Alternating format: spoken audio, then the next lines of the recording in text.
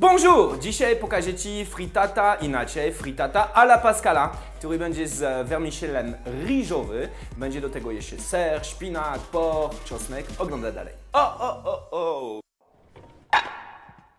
Jest to przepis, który możesz totalnie modyfikować według Twojej smaki. Jest to tylko pomysł z mojej strony. E, Ja dzisiaj używam vermicell, ale możesz zamienić to na, na ten ver, vermicell jajeczny, który e, używasz na przykład e, do rosołu. Ja dzisiaj używam ryżowy, czyli na samego początku biorę vermicell, łamię go, widzisz, takim sposobem op, i przylewam gorącą wodę. Zawsze najlepiej pamiętaj o tym, żeby właśnie czytać na opakowaniu sposób gotowania.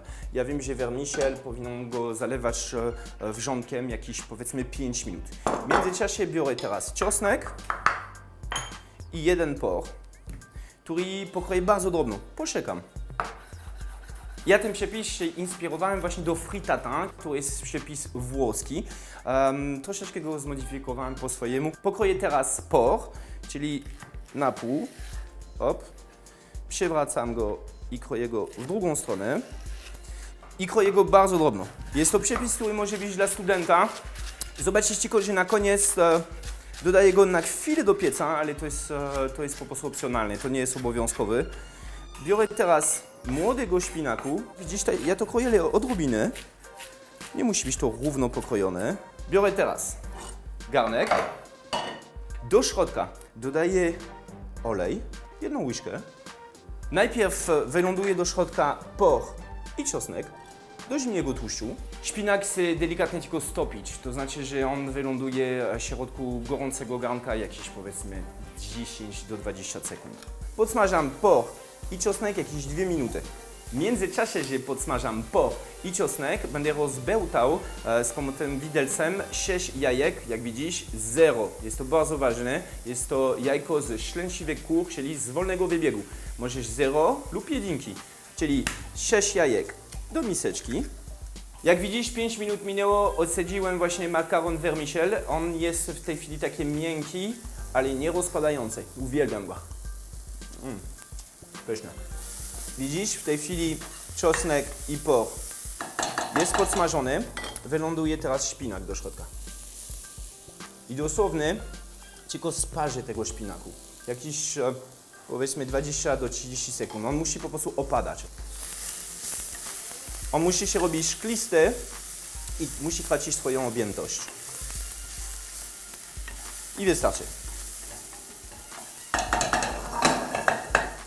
Czosnek, por i szpinaku wyląduje teraz do tej misy.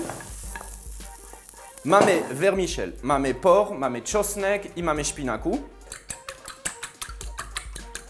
Wracamy do naszą miseczkę właśnie z porem, z czosnkiem i ze szpinakiem. Dodaję do środka teraz parmezan.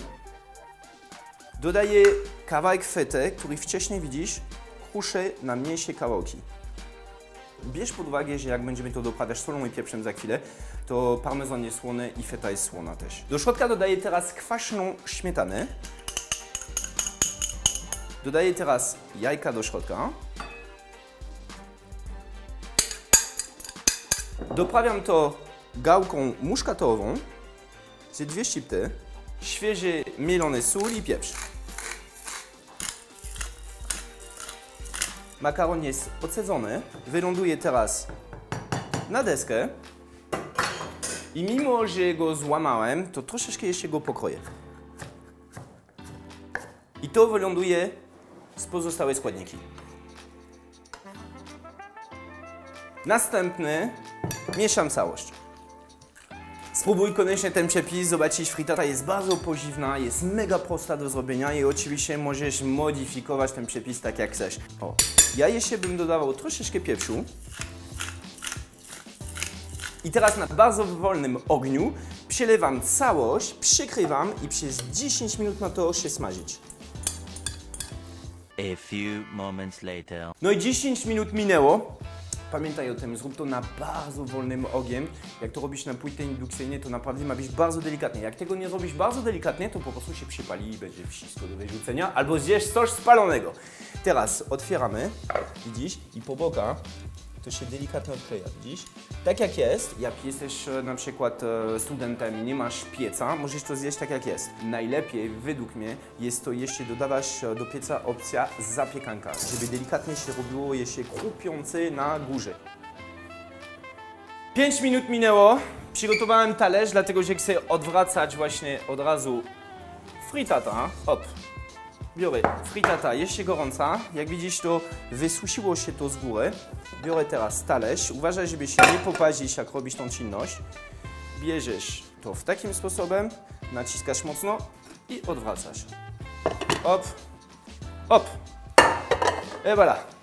Kilkakrotnie Ci mówiłem, że trzeba uważać, żeby było nie za mocną temperaturę właśnie e, pod patelnią i bardzo dobrze, że tak robiłem, bo ona jest e, brązowa, ale nie jest e, przypalona. W tej chwili możemy to pokroić jak prawdziwą fritatę i próbujemy. Czyli pokażę Ci, że jak ją kroję, to ona jest ścięta oczywiście w środku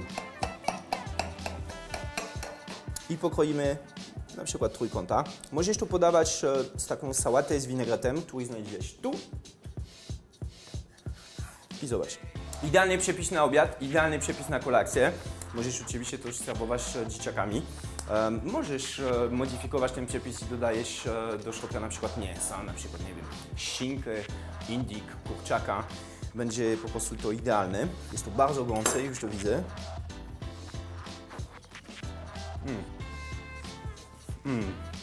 Jest to po prostu pyszne. Mamy potrawę makaronową. Mamy właśnie serfeta, który się wchłaniał w każdym po prostu makaronem. Czujemy parmezan, czujemy czosnek i por. To jest idealny przepis, który musisz koniecznie powtarzać w domu. Pamiętaj o tym, że jestem do Twojej dyspozycji.